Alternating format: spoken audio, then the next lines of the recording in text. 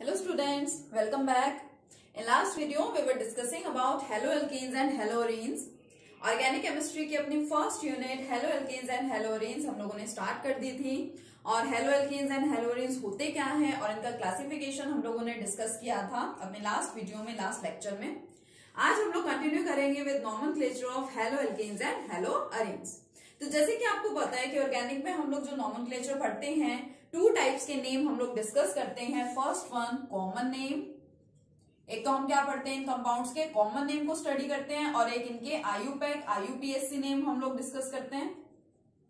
तो कल मैंने आपको एक और इम्पोर्टेंट बात बताई थी कि जो हमारे halo alkanes and hello arenes हैं, इन्हीं को ही हम लोग क्या बोलते हैं? Alkyl halides and aryl halides बोलते हैं। तो जब हम लोग हेलो एल्केन्स का नॉमन करते हैं तो कॉमनली हम लोग हेलो एल्केन्स को क्या बोलते हैं? एल्काइल हेलाइड्स बोलते हैं। कॉमन नेम इस टाइप के कंपाउंड्स को जो दिया जाता है वो किस तरह से दिया जाता है? एल्काइल हेलाइड की तरह से। और आयुपीएससी नेम इनको देते हैं हेलो एल्केन्स की तरह से। हेलो का मतलब आपको बताया था हेलोजन ठीक है? एल्केन मतलब एल्केन की हम लोग बात कर रहे हैं कार्बन आइटम की चेन की हम लोग बात कर रहे हैं। यहाँ पे भी halide represents the halogen atom and alkyl represents the chain of carbon atom carbon atom की चेन को हम लोग एल्काइल बोलते हैं, ठीक है? एल्काइल ग्रुप हम लोग बोलते हैं उसको। ये आपको अच्छे से पता है कि फ़र्स्ट वन कार्बन आइटम अगर हमारे पास प्रेजेंट है तो उसको क्या बोलते हैं? मिथ ठीक है? टू कार्बन एथ थ्री को प्रोप फोर को ब्यूट फाइव को पेंट ये सब हम लोग इलेवंथ में ही पढ़ चुके हैं। ठीक है? और इलेवंथ में भी हमने नॉर्मल को काफ़ी डिटेल में स्टडी किया हुआ है। जो फ़र्स्ट यूनिट हमने वहाँ पे इलेवंथ में ऑर्गेनिक की पढ़ी थी, उधर हम लोग नॉर्मल कर चुके थे। यहाँ पे हमें क्या करना है? हर यूनिट के अंदर वन बाय वन नॉर्मल पढ़ना है। तो यहाँ हम लोग पढ़ रहे हैं halo alkanes and haloarenes के बारे में। तो एग्जाम्पल्स के साथ इसको करते हैं। मान लीजिए सबसे सिंपलेस्ट एग्ज़ाम्पल सपोज़ मेरे पास है C H three C L मुझे इस कंपाउंड का क्या करना है? नाम लिखना है। तो सबसे पहले तो मैं लिखती हूँ इसका कॉमन नेम ठीक है? कॉमन नेम जो हम लोगों को लिखने होते हैं, आपको पता है कॉमन नेम हम लोग मेंशन कर लेते हैं बट हम लोगों से जो नेम्स पूछे जाते हैं that are the IUPAC names लेकिन मैं आपको कॉमन नेम भी बता रही हूँ यहाँ पे। कॉमन नेम्स हमें किस तरह से लिखना है? एल्काइल हेलाइड की तरह से एल्काइल मतलब एल्काइल ग्रुप ये हमारा यहाँ पे एल्काइल ग्रुप है। कितने कार्बन आइटम्स यहाँ पे प्रेजेंट है? Only one carbon atom one carbon atom is known as meth ठीक है? और ये हमारा एल्काइल ग्रुप है तो ये ग्रुप कौन सा हो गया? हमारा मिथाइल ग्रुप हेलाइड हेलोजन देखिए कौन सा है यहाँ पे? क्लोरीन है तो इसको हम लोग क्या लिखेंगे? क्लोराइड लिखेंगे। तो इस कंपाउंड का कॉमन नेम क्या हो गया? मिथाइल क्लोराइड हो गया। सो सिंपल नेक्स्ट इसी का अगर मुझे लिखना है आयुपीएससी नेम अगर मैं इसका आयुपीएससी नेम लिखना चाह रही हूँ तो मैं इसको क्या लिखूँगी? हेलो एल्केन्स की टर्म्स में।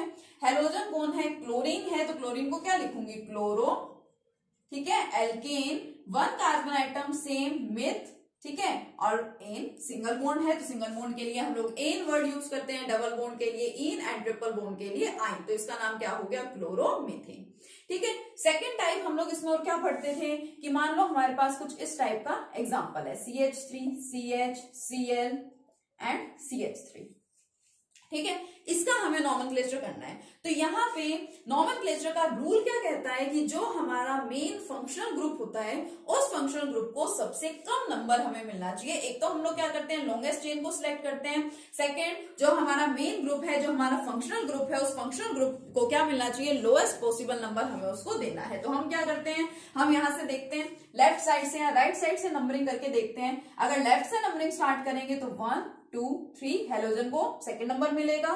राइट साइड से नंबरिंग अगर स्टार्ट करेंगे तो वन टू थ्री तो भी इसको सेकेंड नंबर ही मिलेगा तो कहीं से भी नंबरिंग कर लीजिए। इसको मिलना है सेकेंड नंबर ही, ठीक है? और टोटल कार्बन आइटम्स की जो चेन है, वो कितने कार्बन आइटम्स की चेन है? थ्री कार्बन आइटम्स की। थ्री को हम लोग क्या बोलते हैं? प्रोप बोलते हैं। और यहाँ पे क्या प्रेजेंट है? सिंगल बोन्ड प्रेजेंट है। तो नाम लिखने का तरीका क्या था कि सबसे पहले हम लोग जो हमारे सब्सटीट्यूएंट होते हैं मीन जो हमारे ग्रुप्स होते हैं, उसका नाम लिखते हैं विद देयर पोजिशन तो सेकेंड पोजिशन पे हमारा क्लोरीन ग्रुप है, इसका आईयूपीएससी नेम अगर लिखेंगे तो क्या होगा वो name two chloro second position पे क्लोरीन है तो क्या लिख लेंगे? टू क्लोरो तीन कार्बन आइटम है तो प्रोप एंड सिंगल बोन्ड है तो एन तो इसका आईयूपीएससी नेम क्या हो गया? टू क्लोरो प्रोपेन अगर इसका मान लीजिए हमको कॉमन नेम लिखना होता तो इसका कॉमन नेम क्या है? आइसोप्रोपाइल क्लोराइड इसका कॉमन नेम क्या होता है? आइसोप्रोपाइल क्लोराइड है।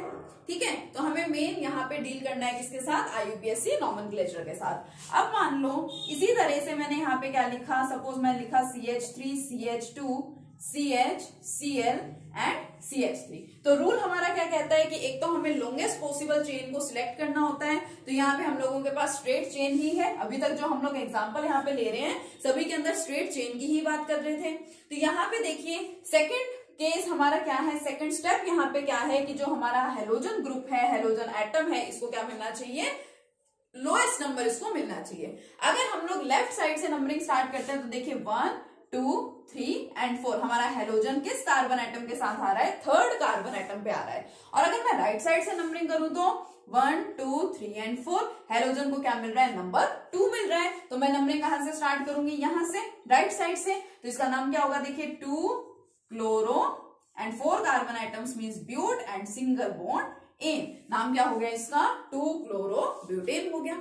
अब इसी तरह से आपको पता है कि अगर हमारे पास यहाँ तो ये तो मैंने जो एग्जांपल्स लिए हैं, अभी तक ये सारे कौन से हैं? हमारे मोनो हेलोजिनेटेड कंपाउंड्स हैं। एक एक हेलोजन आइटम यहाँ पे प्रेजेंट थे। मान लीजिए हम हेलोजन आइटम्स को क्या करते हैं? यहाँ पे इंक्रीज करते हैं। सपोज़ क्या ले लें हम लोग? अब दो दो हेलोजन आइटम ले लेते हैं। सपोज़ डाई हेलोजिनेटेड हमारे पास कंपाउंड है। तो मैं एक एग्ज़ाम्पल लेती हूँ। C H three C H C L C H C L and C H three ठीक है? सपोज़ ये है मेरे पास। अब लॉन्गेस्ट चेन तो मेरी यही है कार्बन आइटम्स की चेन तो। नंबरिंग स्टार्ट करूँगी लेफ़्ट साइड से अगर नंबरिंग करूँगी तो इसको नंबर क्या मिलेगा? One two three and four functional groups को नंबर मिल रहे हैं यहाँ पे second and third right side से नंबरिंग करूँगी तो भी one two three and four second and third number ही मिल रहे हैं। तो कहीं से भी स्टार्ट कर दो। नाम हम कैसे लिखते थे? सबसे पहले इनका नंबर इनकी पोजिशन लिखते हैं। और अगर दोनों मेरे पास सेम हेलोजन प्रेजेंट है तो हम लोग उसके लिए क्या वर्ड यूज़ करते हैं? डाई वर्ड यूज़ करते हैं। तो देखिए सेकेंड और थर्ड पोजिशन पे क्लोरीन है, चाहे किसी भी साइड से नंबरिंग कर लीजिए। तो इसका नाम क्या हो जाएगा टू थ्री दोनों मेरे पास सेम है। अगर सेम हेलोजन आ रहे हैं, तभी हमें वर्ड्स डाई ट्राई ये सब लगाने होते हैं। तो दो है मेरे पास, यानी कि डाई क्लोरीन है, यानी कि chloro four carbon atoms means but and single bonds carbon atom की चेन में कौन सा बोन्ड है? सिर्फ़ सिंगल बोन्ड ही है तो इसका नाम क्या हो गया? टू थ्री डाइक्लोरो ब्यूटेन ठीक है? नेक्स्ट सिंपल सा हो गया। अब अगर मेरे पास दो हेलोजन प्रेजेंट है तो ऐसा तो कोई रूल नहीं है कि दोनों हेलोजन मेरे पास सेम ही होने चाहिए। दोनों हेलोजन यहाँ पे क्या हो सकते थे? डिफरेंट भी हो सकते थे। मान लीजिए next example C H three C H B R C H C L and C H three अब यहाँ पे सेम वही है वैसे तो फोर कार्बन आइटम्स की ही चेन है और सेकंड और थर्ड पोजीशन पे ही मेरे ये फंक्शनल ग्रुप्स यानी कि हेलोजन यहाँ पे प्रेजेंट है। डिफरेंस क्या है? यहाँ पे दोनों हेलोजन सेम थे क्लोरीन आइटम्स थे, यहाँ पे डिफरेंट है। अब इस चीज़ का आपको ध्यान रखना है। जब हम लोगों के पास में दो अलग अलग हेलोजन प्रेजेंट है तो ऑब्वियसली हमें नॉमिनक्लेचर में नाम तो दोनों का ही लिखना है। लेकिन सबसे पहले किसका नाम लिखा जाता है जो अल्फाबेटिकली पहले आता है? तो इसके लिए मैं ब्रोमो लिखूँगी, इसके लिए क्लोरो लिखूँगी? बी जो है वो अल्फाबेटिकली पहले आता है तो पहले नाम किसका लिखेंगे? ब्रोमीन का। और नॉमन करेंगे जब नंबरिंग देंगे तो लेफ़्ट साइड से अगर नंबरिंग करेंगे तो सेकंड और थर्ड पोजीशन ही आ रही है। राइट साइड से नंबरिंग करेंगे तो भी सेकेंड और थर्ड पोजिशन ही आ रही है। लेकिन हमें क्या देखना है? अल्फाबेटिकली हम जिस हेलोजन को पहले लिखेंगे, उसी हेलोजन को कम नंबर मिलना चाहिए, ठीक है? छोटा नंबर उसी को मिलना चाहिए। तो इसको यहाँ से सेकंड नंबर मिल रहा है और यहाँ से इसको थर्ड नंबर मिल रहा है तो हम यहाँ वाला सिलेक्ट करेंगे। सेकंड पोजीशन पे ब्रोमीन है तो क्या लिख देते हैं?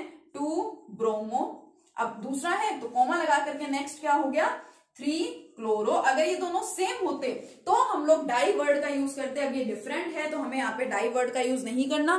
सिंपल हम इसी तरह से लिखेंगे like two bromo three chloro four carbon atoms है, इसके लिए ब्यूट एंड सिंगल बोन मतलब एन ठीक है? तो जब हमारा फंक्शनल ग्रुप प्रेजेंट होगा तो प्रायोरिटी किसको दी जाएगी? फंक्शनल ग्रुप को दी जाएगी। फंक्शनल ग्रुप को कम से कम नंबर मिलना चाहिए। अभी तक जो हम लोगों ने एग्जांपल्स किए हैं, ये सारे किस टाइप के कंपाउंड्स के एग्जांपल हैं? सेचुरेटेड कंपाउंड्स के। ठीक है? सेचुरेटेड एल्काइन हेलाइड्स या सेचुरेटेड हेलो एल्केन्स की हम यहाँ पे बात कर रहे थे। अगर हमारे पास आ जाए अनसेचुरेटेड अनसेचुरेटेड का मतलब कंटेनिंग मल्टीपल बोन्ड्स डबल या ट्रिपल बोन्ड अगर आ जाए तो नॉमन का रूल क्या कहता है? जो हम लोगों ने इलेवंथ क्लास में रूल्स पढ़े थे तो वो नॉमन का रूल क्या कहता है? That our multiple bond means double और triple bond must get the lowest number double या ट्रिपल बॉन्ड को प्रायोरिटी दी जाती है डबल और ट्रिपल बॉन्ड को कम नंबर मिलना चाहिए और उसके बाद चाहे इसको कितना भी नंबर मिले। ठीक है? लेकिन लिखने का तरीका वही होगा, लिखा पहले किसको जाएगा? हमारे फंक्शनल ग्रुप को ही लिखा जाएगा। ठीक है? और मान लीजिए, अब अगर हम लोग बात करते हैं हेलो अरीन्स की, ये तो हम लोगों ने ओपन चेन वाले कंपाउंड देखे हैं सारे। ठीक है? यहाँ पे कोई आपको क्लोज रिंग तो नहीं दिखाई दी। एंड सपोज़ अब मैं यहाँ पे एक क्लोज रिंग ले लेती हूँ एरोमेटिक कंपाउंड की बात करती हूँ एराइल हेलाइट्स की बात करती हूँ मैं, ठीक है? और सपोज़ मैं यहाँ पे एक कंपाउंड ले रही हूँ बेंजीन रिंग लेती हूँ और बेंजीन रिंग के ऊपर मान लीजिए प्रेजेंट है एक क्लोरीन एटम ये है मेरी बेंजीन रिंग और बेंजीन रिंग के ऊपर कौन प्रेजेंट है? क्लोरीन प्रेजेंट है। तो इसका common name and IUPAC name दोनों सेम ही है। एक क्लोरीन प्रेजेंट है तो उसके लिए क्या लिखेंगे? क्लोरो किस पे प्रेजेंट है? बेंजीन पे प्रेजेंट है तो इसका नाम क्या हो गया? क्लोरो बेंजीन वही है सेम इलेवंथ वाले। ठीक है? सिंपल सिंपल सा कंसेप्ट आपको याद होना चाहिए। अब मान लो यहाँ पे भी दो सेम ग्रुप आ रहे हैं डिफरेंट आ रहे हैं तो उसको लिखने का तरीका वही है। ठीक है? नॉमन अल्फाबेटिकली ही हमें करना होता है। मान लीजिए अब सेम ग्रुप आ रहे हैं बेंजीन रिंग पे, ये मेरी बेंजीन यहाँ पे और यहाँ पे प्रेजेंट है क्लोरीन एक केस में यहाँ पे ले रही हूँ। सपोज़ फ़र्स्ट क्लोरीन आइटम यहाँ पे है सेकेंड क्लोरीन आइटम है यहाँ पे। और थर्ड केस में यहाँ पे ले रही हूँ कि फ़र्स्ट क्लोरीन आइटम प्रेजेंट है यहाँ और सेकेंड क्लोरीन है यहाँ। बेंजीन रिंग के डेरिवेटिव्स हैं ये बेंजीन क्या होता है? सी सिक्स एच सिक्स यानी कि ये सिक्स कार्बन आइटम्स है। और इन सिक्स कार्बन आइटम्स के साथ यहाँ पे एक एक हाइड्रोजन होते हैं। जिधर जिधर आपको क्लोरीन दिखाई दे रहे हैं इट मीन वहाँ वाला जो हाइड्रोजन है, उसको किसने रिप्लेस कर रखा है? उसको क्लोरीन ने रिप्लेस कर रखा है। ठीक है, इसका यही मतलब हुआ।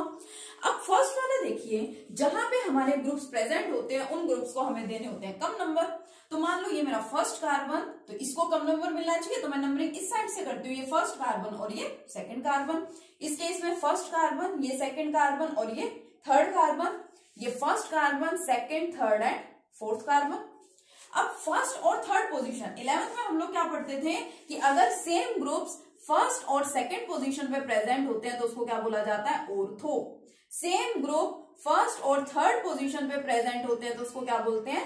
मेटा बोलते हैं। और अगर मान लीजिए हमारे पास में कौन प्रेजेंट है, सेम ग्रुप है। हमारे सेम ग्रुप्स अगर प्रेजेंट होते हैं फ़र्स्ट एंड फोर्थ पोजीशन पे तो उसको हम लोग क्या बोलते हैं?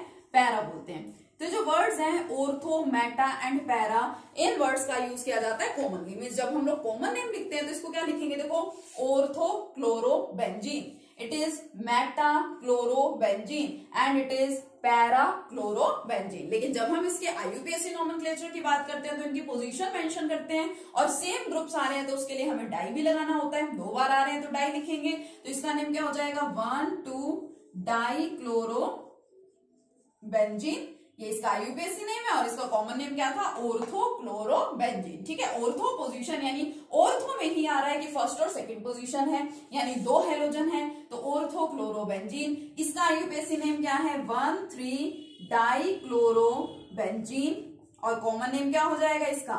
मेटाक्लोरो बेंजीन इसका आयुपीएससी नेम क्या है? वन फोर डाई क्लोरो और इसका कॉमन नेम क्या हो जाएगा? पैरा क्लोरो बेंजीन ठीक है? ये तो मैंने सेम हेलोजन एटम्स की यहाँ पे बात की है। अगर हमारे पास डिफरेंट हेलोजन एटम्स प्रेजेंट है तो जिस तरह से हमने नॉमन किया था, पिछले केस में मतलब कि एल्काइल हेलाइट्स के केस में सेम नॉमन हम यहाँ पे करेंगे। अल्फाबेटिकली हमारा जो ग्रुप पहले आ रहा होगा, उसको हम कम नंबर देंगे, ठीक है? और उसी का नाम हम क्या करते हैं? पहले लिखते हैं। अब देखिए, एक दो एग्जाम्पल्स और हैं हमारे पास। सिंपल सिंपल से मतलब एक दो टाइप और हैं। उनको और डिस्कस करते हैं। काफ़ी इंपॉर्टेंट है और हमसे एग्ज़ाम में काफ़ी बार पूछे भी जाते हैं। देखिए, मैं एक जनरल एग्जांपल लिख रही हूँ कोई भी। मान लो मेरे पास कोई भी एल्काइल ग्रुप है कार्बन आइटम्स की चेन है मेरे पास। ये मेरे पास कोई कार्बन आइटम्स की चेन है। वैलेंसी आपको पता है, हम लोग हाइड्रोजन लगा करके कंप्लीट करते हैं। मान लो, एक तो मैंने लिखा ये ये है, ठीक है? और यहाँ पे दो हेलोजन आइटम्स प्रेजेंट है सेम हेलोजन आइटम्स है, ठीक है? और एक मैं यहाँ पे लिख रही हूँ इस तरीके से। दोनों में डिफरेंस आप इजीली ऑब्ज़र्व कर पा रहे हैं।